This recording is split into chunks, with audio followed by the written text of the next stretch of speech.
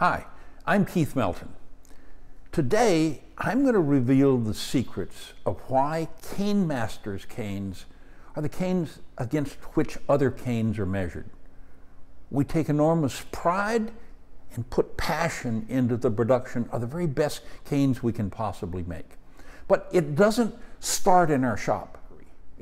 Hickory is the hardest and strongest hardwood available to us in the U.S. to make canes. It's extremely durable. Oak is a close second and can be made to last a lifetime. We do not produce canes that are disposable. All of our canes are intended to last for your lifetime and pass it down to your children or grandchildren. The crafting process of a cane begins in the mill. All wood is dried before it's milled to prevent rot. The cane is shaped. It is ultimately steam bent in a 180 degree bend. This is a raw cane as it leaves the mill. We are very precise that the mouth of the cane is between four and a quarter and four and a half inches. This is necessary for your ability to maneuver and control the cane.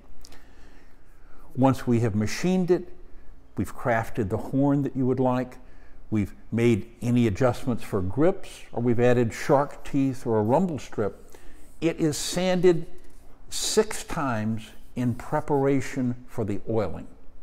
In our tests, immersing a cane in a tank of mineral oils and some special polymers will extend the life of your cane and have a noticeable difference in the strength and durability of the wood.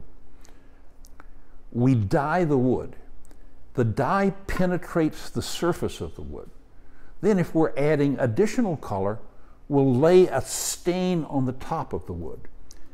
The cane must be sanded between the dyeing stage and after each application of the stain when we want to protect a piece of wood, the good oils that we have put into the cane have to stay there.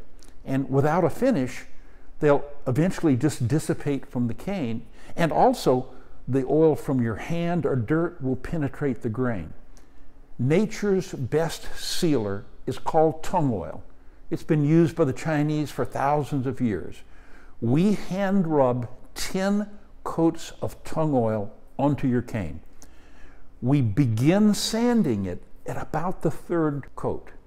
We start with 1500 grit wet dry paper and over the succession of coats we'll move up to 3000 grit.